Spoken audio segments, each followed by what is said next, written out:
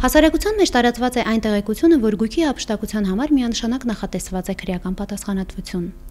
Սակայն կախված գողացված գույքի արժեքից անձը կարող է ազատվել քրեական պատասխանատվությունից եւ ենթարկվել ավելի մեղմ վարչական պատասխանատվության։ Մանր չափերով հափշտակությունը գողության, խարդախության, յուրացման, վատնման, համակարգչային տեխնիկայի օգտագործման միջոցով առաջացնում է տուգանքի նշանակում սահմանված նվազագույն աշխատավարձի հիմնապատիկից հարյուրապատիկի չափով։ Մանր չափ է համարվում Առաջին՝ գողության միջոցով հափշտակություն կատարելու պահին Հայաստանի Հանրապետությունում սահմանված նվազագույն աշխատավարձի հնգապատիկը, այսինքն այս պահի դրությամբ 5000 դրամը չգերազանցող գումարը։ Երկրորդ՝ խարդախության, յուրացման, վատնման, համակարգչային տեխնիկայի օգտագործման միջոցով հափշտակություն կատարելու, ինչպես նաև ուրիշի գույքը դիտավորությամբ ոչնչացնելու կամ վնասելու պահին Հայաստանի Հանրապետությունում սահմանված նվազագույն աշխատավարձի երեսնապատիկը, այսինքն այս պահի դրությամբ 30 հազար դրամը չգերազանցող գումարը։